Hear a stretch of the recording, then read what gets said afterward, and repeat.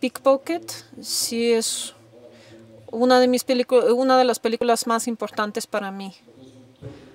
Ah, por ejemplo, Tarkovsky solía repetir que Bresson ah, es el mejor director en la historia del cine y no, no es eh, en vano.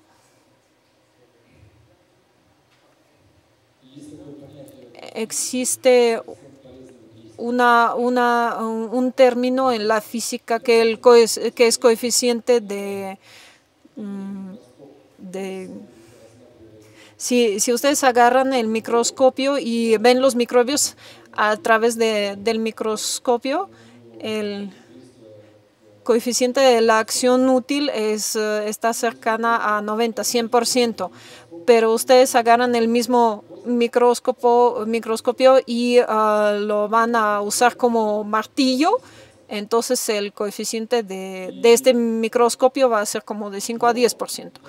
Y el cine es un cierto instrumento como el microscopio, lo podemos utilizar en diferentes con diferentes opciones. Podemos eh, tomar un espectáculo muy bueno de algún teatro y lo, llevarlo a la calle, al exterior y filmarlo. Y eso se llamaría película. Pero en realidad, por dentro no va a ser película, sino el mismo espectáculo reforzado por, ah, ah, reforzado por eh, ah, los medios cinematográficos, como por ejemplo eh, pueden encontrar este, locaciones muy interesantes, agregarle efectos especiales. Así el propio espectáculo sí se va a reforzar, pero seguirá siendo espectáculo. No va a ser película.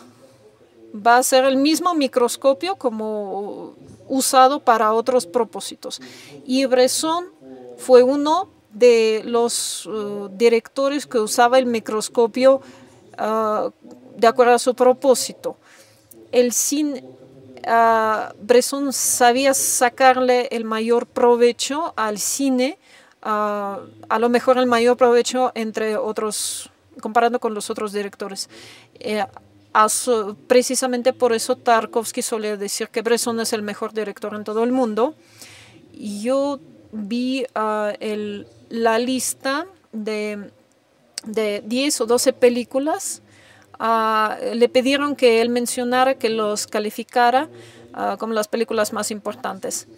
Y entonces en el primer lugar está la película de Bresson del diario del cura uh, poblano. No, no el acorazado Pachonkin, ni las películas de Bergman. Lo ponían en el cuarto, quinto lugar, pero en el primer lugar ponía la película de Bresson. Y Pickpocket Es, una de las películas ah, más sorprendentes. Para mí es una imagen mostrada como música. No, no, es, no es una película, es una obra de música. Simplemente que en vez de las notas, en vez de los sonidos, se usa la imagen y los ruidos.